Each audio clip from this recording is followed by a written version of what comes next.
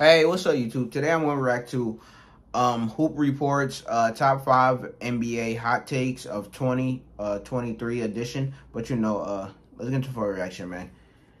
We're in the middle of the 2022 NBA offseason, but okay. already so many storylines are building up. Where will Kevin Durant go? Will Miami land another star? What the heck are no. the Lakers going to do? Trade, guys. Please. I love the NBA. And with that being said, let's go over some of my 2023 hot takes. Hoop Reports. First off, I know a lot of people are going to disagree with this take, but uh-huh. the Philadelphia 76ers are going to be the Eastern Conference champions. Cap. will represent the East. I smell cap. I got the Bucks. People say James Harden isn't the player he used to be, that he's washed and this and that. But the truth is, he just came off a season where he was recovering from a hamstring injury while dealing with all the dysfunction happening in Brooklyn. Mm-hmm. And then, even through all that, the man still nearly averaged a 21 point triple double. Okay. My goodness, guys. This man is still a beast. In 2023, I predict the following for the 76ers. Harden is going to be playing at an all NBA level. Okay. Joel Embiid is he going to be in shape at an MVP level and Tyrese Maxey is going to be playing at a borderline all star level. Mm, okay. Then, with the rest of the roster, plus the newly added players such as PJ Tucker and Trevelin Queen, the 76ers are going to be both top heavy and deep. The 76ers' biggest cool. issues in the past has been injuries to Joel Embiid, but with James Harden sort of mentoring him a bit, Embiid should have a relatively healthy year. If you're wondering what, what I mean, what does that mean, bro? How does mentor and help them stay healthy?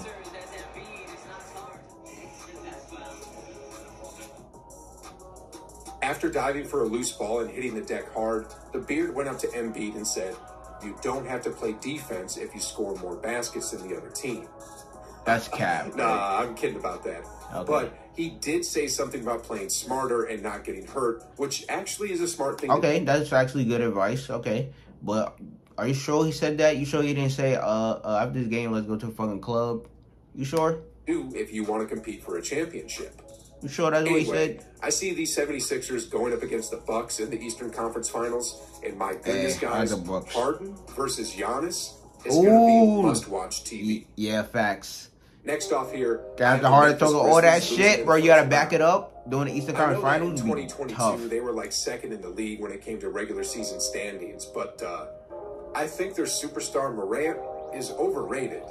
Damn. He reminds me of Russell Westbrook. Very Damn. flashy, explosive, and puts up a ton of regular season highlights. But when the playoffs come around, they get exposed. Mm. I mean, look at what happened this past season when the Grizzlies matched up against the seventh seeded Timberwolves. Bro. They barely survived. That's fact. Honestly, bro, the Timberwolves, bro, bro, they could have won this fucking series, bro. They just folded. Like, bro, they kept blowing fucking leads, bro. And I blame that million on KAT because, like, nigga, when you're up, nigga, you, you keep, bro, you gotta apply the fucking pressure, bro. Like, KAT should have played it in the post more and dominated these niggas, bro. Should have won that series. But he had Anthony I Edwards, my nigga. and, and was doing his shit. The Timberwolves had substantial leads in the fourth quarter, and if not for unexplained mental breakdowns, bro, Memphis Disgusting. would have been eliminated in the first round. In addition, the West is hey, only Zion, getting better. Kawhi I mean, the Timberwolves added Michael Bear. Zion Williamson is back for the Pelicans. Facts. Kawhi is back for the Clippers. Facts. Both Murray and MPJ are back for the Nuggets. Facts. LeBron and AD are looking to bounce back. Yeah. Luka is only getting better. And then we have the defending champions. Yeah, Luka and man definitely got better for sure. If Memphis matches up with any one of these teams in the first round, I'm going to DraftKings to double my earnings for the year. Hey, good sponsor. all expense paid vacation courtesy of the Grizzlies. okay, I'm kidding about that. But in all seriousness, I don't see the Grizzlies making it out of the first round. Damn. They'll be decent in the regular season, but yeah. Next off, I have Luka Doncic winning the MVP award. Honestly speaking, in 2022, the man nearly averaged a 28 point triple double while he was visibly out of shape analysis online. I agree with this because Luka gonna have the narrative going in next season to win the championship, because he's coming off, he's coming off uh Western Conference Finals appearance, right? He finally show he finally told uh or showed all the doubters wrong that, that like, bro, he could finally get out the first round. Even though people discredit him by not getting out the first round when he was going against uh, the fucking Clippers team with Kawhi and PG, and the second best star, fucking Porzingis, was fucking roaming around the fucking perimeter all fucking all all the games and only averaging like you know 15 points or whatever. But bro, Luka made to the Western Conference Finals. He fucking beat, he fucking cooked the Suns, my nigga, in, in a game seven and a must need a game seven win, bro, and blew those niggas out. So, bro, he definitely got the narrative going in next season, and the Mav team would would be better, bro. Would be better with Jason Kidd, with Jason Kidd as their coach and shit, doing their shit, bro. Like Shannon Sharpe, I definitely got that he Luka should winning embarrassed MVP. for the way he entered the past season, and rightly so.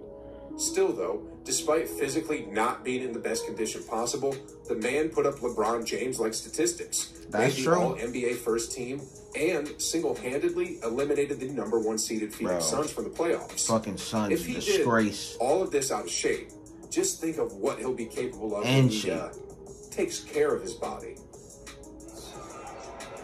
Oh yeah, they saying Luka's skinny and shit. Photos and videos emerged recently when he went back to play for Slovenia after the playoffs, and he's looking much different than 12 months ago. Yeah. In 2023, we're going to see a much more motivated Doncic from the get go. Because of the Mm-hmm. roster of the Mavericks, however, I still don't see them as a championship team. But in the regular Yeah, I season, agree with that. They- they need, like, another spot to a star. three seed in the West, and with the numbers he'll be putting up, I see him winning the 2023 MVP award. I agree with that. Next off, we have the Phoenix Suns. And my Bro, I swear the Mavs just need another star. Just just another fucking star for Luka. Then it's gonna be a dangerous fucking scene, bro. is that they won't be a top four team in the Like, West. but look what like look what uh, Luka doing with fucking uh, role players, man. 2022, They were second and first in the league when it came to regular season standings. But in 2023, I don't see them even in the top four. Ooh, interesting. First off, every team in the league is going to know how to attack them. Yeah, You don't need no game plan. All you got to do is attack Chris Paul on offense, get him tired, then his effectiveness drops substantially. Fact. This was exploited in the 2022 CP3 is old, though, The whole so- league saw it. Gee. I mean, a New Orleans Pelicans team minus their best player in Zion already pushed them to six games. Yeah. And then a Luka led Mavericks gave them one of the worst beatings in NBA history. Facts. And before I even forget, they're going to have chemistry issues with their other star, DeAndre Hey, Ayton. the Suns' window to win a championship definitely closed, bro. Remember back in that deciding game seven? Monty Williams benched him for a huge Yeah, and I think Ayton's getting traded, uh, during the season. that there are quote unquote internal issues. Then, uh, after the season finished, the Suns refused to give him the max extension, and it wasn't until Yeah. Indiana almost signed him that the Suns finally caved in and paid him what he was looking for. Yeah, facts. Lastly, here, in addition to the problems I just mentioned, although the Suns aren't the defending champs, they're going to have targets on their back. I mean, they were the number one seed in the league last season, and they trash talked like crazy along the way.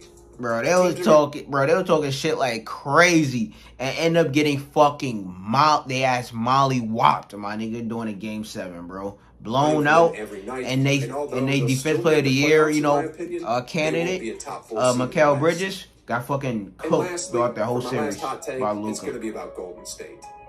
The 2023 Golden State Warriors are going to completely dominate the league, repeat as champions, Ooh. and another Larry O'Brien. Oh, trophy. they gonna go back to back? Let's Hold on. The Warriors just breezed by a Mavericks team that Hold on, it's definitely a lot of positive for uh the, the Warriors to go back to back because like bro, because like Clay would be coming back, will will finally be coming back. You know, you know, uh, uh, uh, from his injury eh, because because this season right here wa- was more like you know a fill out season for him. Um, um, you, you know really you know get back in rhythm and shit and and and like you know uh and, like you know getting used to playing after like two years. Uh, Poole would be better. Uh, what's called James Wiseman. They finally going. They finally uh get to you know play James Wiseman. Ho- hopefully he be uh, pretty productive. Uh, and who else? Who else? Who else? Oh, oh yeah, and and the big three, you know, for them finally get to you know number one finally get to enter league. the season together. Then they made light work of a Celtics team that swept Durant and the Yeah, Nets. uh, they did. In short here, guys, no team could handle the offense that Steph Curry and the crew threw at them. Then, in the offseason, Although they lost two of their key rotational players, Yeah. Bob Myers and the rest of the front office did an amazing job and filled those holes pretty well. yeah, bro. Donte DiVincenzo further add to on the Warriors is nasty, bro. That's nasty. From what we've seen in the summer league, James Wiseman and and Kuminga will be ready in 2023. Oh yeah, and Kuminga. They're Yeah, bro. I forgot about Kuminga, Be ready.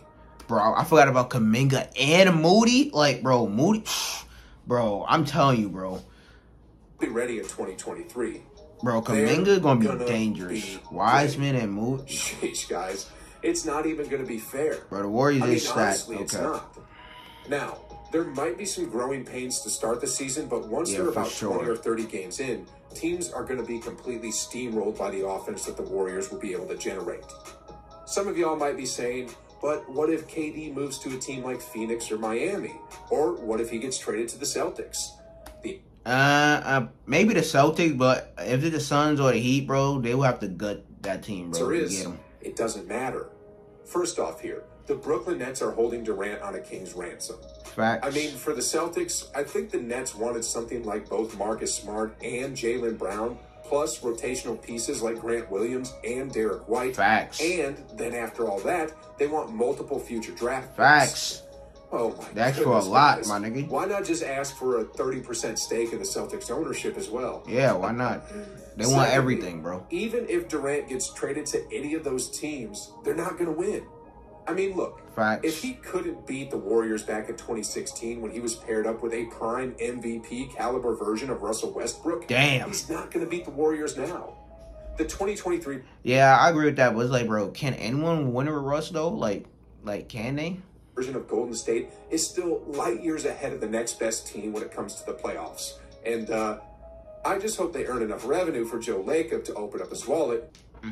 But yeah, another great video on fucking uh Hoop Digest. Not Hoop Digest, Hoop Reports. Uh but bro, let me know in the comments if y'all think the fucking uh Warriors would, you know, be back to back NBA champions or whatever. Because like, bro, bro, the way they roster looking like now, man, like man, that shit gonna look dangerous. But let me know in the comments if you think the Warriors would uh, like, you know, be back to back champions. But but man, I'm I'm excited for this 20 uh 23 season, bro because like man, like so many like bro, so many um other players coming back, like Kawhi coming back, uh, uh fucking who else? Uh, Jamal Murray, Michael Porter, uh, the Mavs would be coming back with with like you know uh with Christian Woods as a center and and coming off that tremendous season that they had you know just before, man, the Celtics would be coming back. Uh, coming off the uh, you know finals appearance that they had, and we see how that works out. See if KD get traded. Like so many things could like happen. But you know, like, comment, subscribe. If there's anything else you want to interact to, you know, down below in the comments. But check out and next one.